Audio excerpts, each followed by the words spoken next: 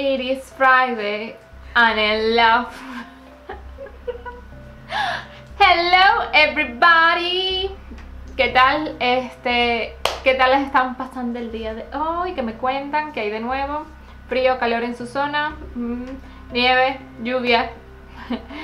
Este, por aquí lluvia y sol más frío. Bueno, no frío, 12, 13 grados.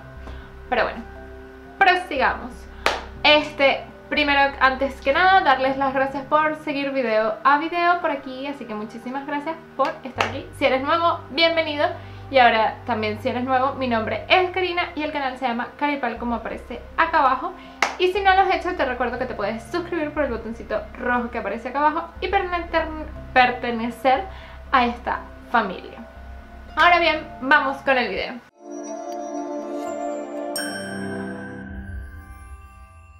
El video de hoy es los favoritos de abril que yo sé que ya está avanzado el mes, pero a mí se me olvidó por completo y pensé que lo había hecho y resulta que era el de marzo y no de abril, pero bueno, aquí, tarde, pero aquí está. Entonces vamos a empezar directo con los favoritos y esta vez voy a empezar con las eh, paletas porque es lo más emocionado que estoy de los favoritos que descubrí algo nuevo. Primero tenemos esta paletita que me gusta porque me, los colores de transición me ayudan muchísimo y he estado usando más que todo el gingerbread y el gingerbread latte combinado con el Hot Toddy y hace eh, me ayuda bastante a escoger cuando quiero colores neutros esta paleta que no están viendo. Pero bueno, este es el Gingerbread, Gingerbread Latte y el Hot Toddy, que es el dúo cromático que va de rosado, marrón y dorado. Ahí está. Bueno, y como ven, es de esta paleta que les hice una reseña que se las voy a dejar por aquí. Para, por si le quieren echar una ojeada si todavía no lo han hecho. Y me gusta porque cuando quiero colores así tipo neutros como le doy, lo puedo hacer. Aunque los que usé ahorita es el Ginger Latte, este, en la zona de transición. Pero para el resto usé este y es el descubrimiento que he hecho, que es la paleta Neve Duocromática. Que, ah, sí, sí está bien. Duochrome. Que bueno, como ven, ah, este es una paleta bastante sencilla, es de neve y creo que es un producto que casi no lo han visto por aquí el canal porque como no suele ser muy conocido, pues no lo he sacado, pero me encanta porque miren estas sombras, son todas dudas cromáticas. Por ejemplo, esta es azul, pero tiene un cambio a verde. Esta morada tiene un cambio a azul. Esta va de dorado a peach, a melocotón. Y así, igual esta marrón va a verde. No sé si le están viendo el cambio, pero bueno, ahí va.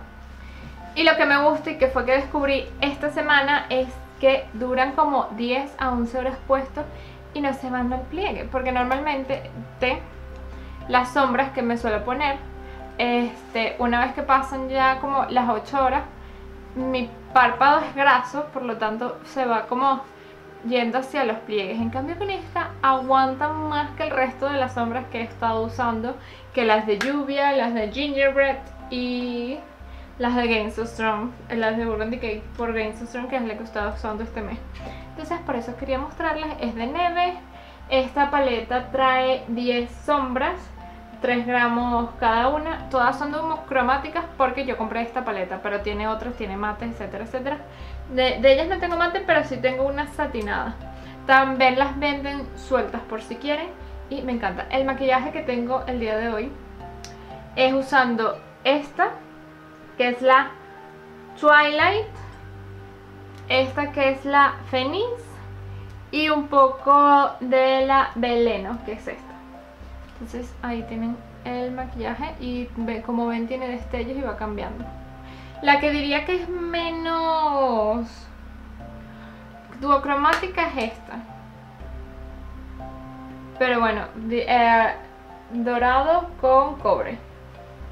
Lo que pasa es que también es el duocromático con como que con el mismo tipo de chip y es distinto. Así que ya saben, si están buscando una paleta que les dure bastante tiempo, son suaves, súper cremosas, se les recomiendo Neve Cosmetics. Es una marca casi olvidada, pero que vale la pena eh, comprarla, ¿ok? Así que ese es como el favorito favorito del mes.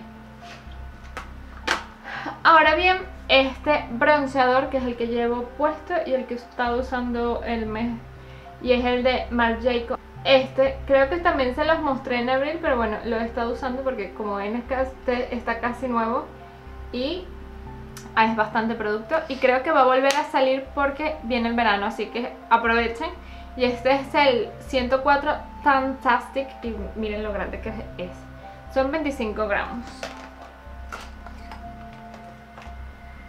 La máscara de pestaña que estoy usando y me encanta porque es súper fácil de aplicar es la Volumen Style de Essence. Creo que ya se las he mostrado más de una vez.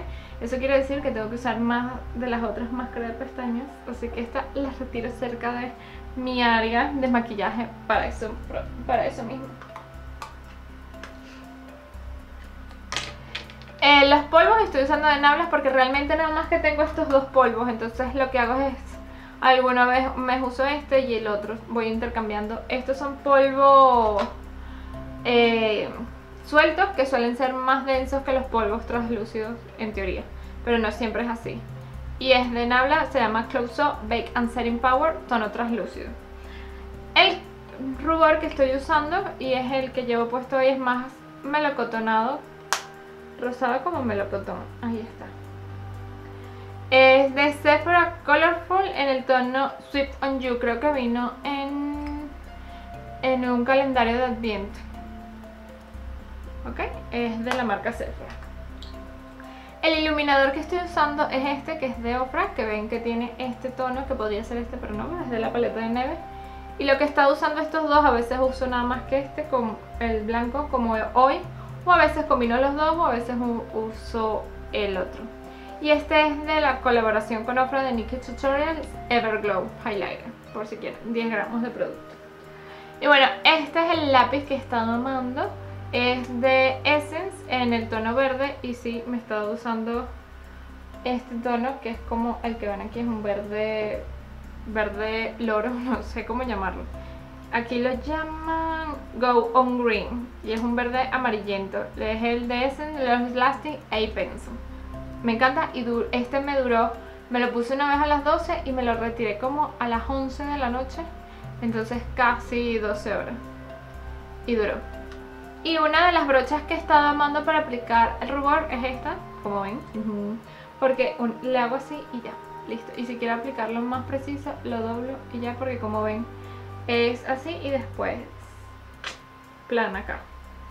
Ancha, plana. ¿Ok? Y eso así, ah, ya, se me olvidaba. Las cejas cambié de usar lápiz y estoy usando este producto en polvo que es Inspiring Elegant Girl Brown Key Medio y lo que uso es el tono claro para el principio y el oscuro para el arco y después. Y para que me dure todo el día, lo sello con esto que es de Ready Set Brown de Benefit. Voy a decir que a veces no me gusta porque claro, es como echar este gelatina, ¿sabes? Sientes que está medio duro al final de la noche y, digo que tengo el que me eché en las cejas que la tengo, pero es porque se me olvidó que me he hecho este producto. Después esto estoy usando estos dos labiales más que todo que son los que me vieron aplicar este vino tinto así. Es este tono. Como ven ahí, este es el de la colección Urban Decay con Gain So Strong White Walkers, que se termina este domingo. Para mí el lunes. Y este que es de Cersei Lannister. Que si vieron el último episodio, bueno, ya sabrán lo que pasó con ella. Que es este así como cobre. Y eso, no, por ahora no tengo ninguna así decepción, decepción total como, como han visto porque bueno, este mes como que escogí muy buenos productos o, productos que me encantan y eso ha sido todo. Así que si te gusta este video y este canal recuerda suscribirte, darle me gusta, compartirlo con tus amigos amigos y nos vemos en el próximo video. Bye!